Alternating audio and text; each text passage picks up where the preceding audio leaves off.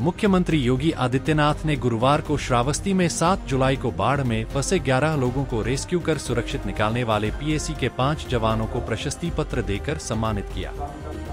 इसके साथ ही उन्होंने अदम्य साहस का परिचय देने वाले सभी पाँच जवानों को एक एक लाख रुपए की इनामी धनराशि देने की घोषणा की। इतना ही नहीं सीएम ने प्रशासन को बिना घबराए सही समय पर सटीक सूचना देने वाली रेखा देवी और फ्लडी पीएसी के जवान के लिए गाइड की भूमिका निभाने वाले राम उजागर को प्रशस्ति पत्र के साथ एक एक लाख रुपए की इनामी धनराशि देने की घोषणा की। श्रावस्ती में 7 जुलाई को तहसील जमुना की ग्राम पंचायत गजुबरी के ग्राम मोहनपुर भरथा एवं केपटनपुरवा में अचानक नेपाल से छोड़े गए पानी की जलधारा में 11 लोग फंसे गए थे। इसकी जानकारी ग्राम भरता के वटनपुरवा की श्रमिक रेखा देवी ने बिना घबराए सही समय पर सटीक सूचना प्रशासन को दी, जिससे प्रशासन को 11 श्रमिकों के फंसे होने की जानकारी व स्थिति प्राप्त हो सकी। इसके अलावा ग्राम भरता के वटनपुरवा के राम उजागर द्वारा बचाव कार्य के लिए जा रही फ्लड पीएसी के बोट पर बैठकर उनके द्वारा पथ प्रदर्शक का साहसिक कार्य किया गया। वहीं फ्लड पीएसी के पाँच जवान सोनू कुमार, अमरेश कुमार सरोज, शुभम सिंह सतीश कुमार यादव और मनोज कुमार ने अदम्य साहस का परिचय देते हुए रात में ही सफलतापूर्वक बचाव अभियान को संपन्न किया। इस पर मुख्यमंत्री योगी आदित्यनाथ ने रेखा देवी, राम उजागर के साथ अपने प्राणों की चिंता किए बिना बचाव अभियान को सफल बनाने वाले फ्लड पीएसी के पाँच जवानों को प्रशस्ति पत्र दिया। वहीं सभी सात लोगों को एक एक लाख रुपए की इनामी धनराशि देने की घोषणा की। छह और सात जुलाई को अचानक नेपाल के अंदर और उत्तराखंड के अंदर भारी बरसात के कारण जल प्लावन की सी एक स्थिति पैदा हुई। पहली बार जुलाई प्रथम सप्ताह में बाढ़ देखने को मिली। अक्सर इस क्षेत्र में बाढ़ और राप्ती नदी में और सरयू जी में बाढ़ अगस्त के अंत तक या सितंबर तक देखने को मिलती थी। इस बार ये बाढ़ पहली बार जुलाई प्रथम सप्ताह में देखने को मिलते हैं। और स्वाभाविक रूप से इससे न केवल तैयारियाँ प्रभावित हुई, बल्कि लोग भी जो नदी के किनारे रहते हैं, उन लोगों के सामने भी तमाम संकट खड़े हो गए। लेकिन विपरीत परिस्थितियों में भी धैर्य न खो करके कार्य करना, जैसे आपने देखा होगा, ग्यारह लोग एक टापू में फंस गए थे। अचानक राप्ती नदी में पानी आ गया। और धैर्य खोए बगैर महिला और बच्चों की 11 लोगों की टोली। अपने मोबाइल फ़ोन का इस्तेमाल करके 118 पर उन्होंने फ़ोन कॉल किया। डायल 100 को कॉल किया। और फिर पुलिस की टीम वहाँ पहुँचती है, पीएसी के बहादुर जवानों ने। उन 11 के 11 लोगों को, जिनमें पाँच बच्चे थे, छह महिलाएँ थी, उन सबको सुरक्षित वहाँ से निकाल करके आज आपके सामने देखा होगा कि जिस महिला ने सूचना दी, उसको और उनके साथ एक पुरुष थे, उनको हमने सम्मानित किया और पीएसी के उन जवानों को जिन्होंने अंधेरे में स्वयं की प्रवाह के बगैर उन 11 लोगों की जान बचाने में अपना योगदान किया, उन सबको भी हमने यहाँ यहाँ पे भी प्रमाण पत्र दिया है। और उन सभी जवानों को भी इस पूरे अभियान के साथ जुड़े हुए जो भी जवान थे, उनको एक स्पेशल हम लोग इनाम भी देंगे। साथ साथ जिस महिला ने और उनके साथ जिस पुरुष ने इसको बचाने में योगदान दिया है, उनके लिए भी नगद पुरस्कार की घोषणा हम अलग से उनको करेंगे। सरकार की पहले से ही व्यवस्था है।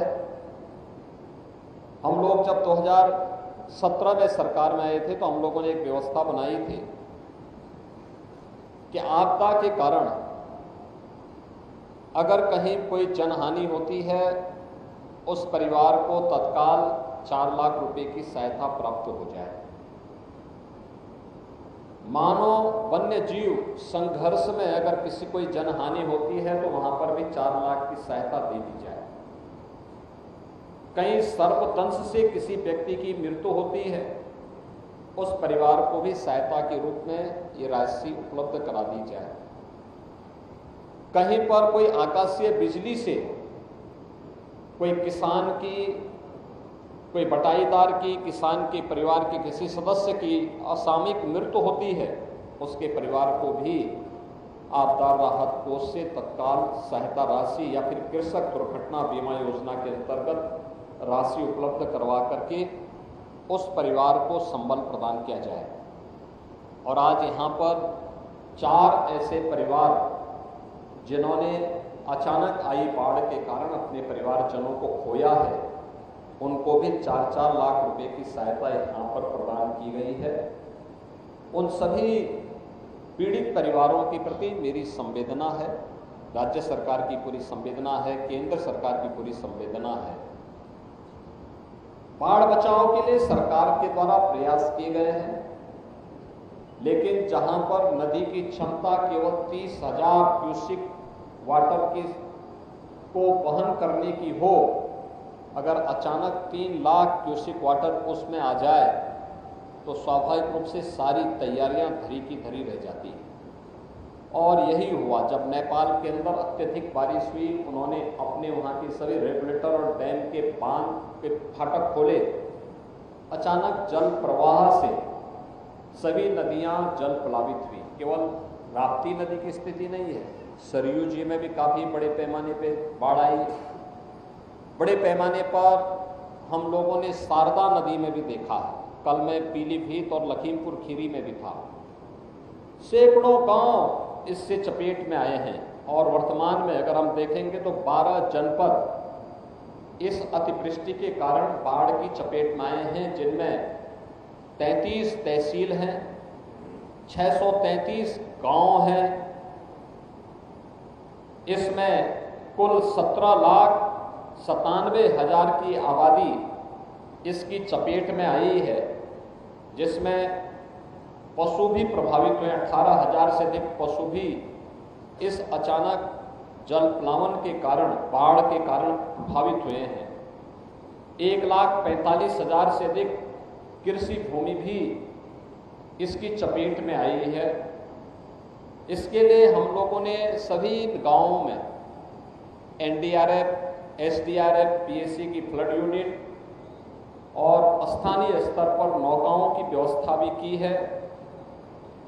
एक व्यवस्था की गई है कि जगह जगह बाढ़ चौकियाँ स्थापित हों जो समय समय पर सूचनाएँ भी देते रहे। और इसके लिए पूरे प्रदेश भर में अगर हम देखेंगे तो एक हज़ार तैंतीस से अधिक बाढ़ चौकियाँ स्थापित की गई हैं, जिनके माध्यम से इन सभी 923 बाढ़ चौकियों की स्थापना की गई है और जहाँ पे बाढ़ पीड़ितों को रखा जाना है, एक हज़ार तैंतीस ऐसे स्थल हैं जहाँ पे शरणालय बना करके बाढ़ पीड़ित के घर में पानी भर गया या उस किसी को रेस्क्यू करके लेके आना है तो उनके लिए भी ये व्यवस्था की गई है। इसके साथ साथ यहाँ पर उन सभी क्षेत्रों में अन्य तमाम प्रकार की सुविधाएँ उपलब्ध करवाने का कार्य हो रहा है। अगर हम लोग श्रावस्ती की बात करें तो श्रावस्ती में जो बाढ़ से प्रभावित क्षेत्र हैं 116 गाँव पूरी तरह या आंशिक रूप से बाढ़ से प्रभावित हुए हैं। 15 गाँवों में कटान की स्थिति है। छिहत्तर हज़ार की आबादी इससे प्रभावित हुई है। तेईस हज़ार पाँच सौ से अधिक कृषि भूमि बाढ़ की चपेट में आई है।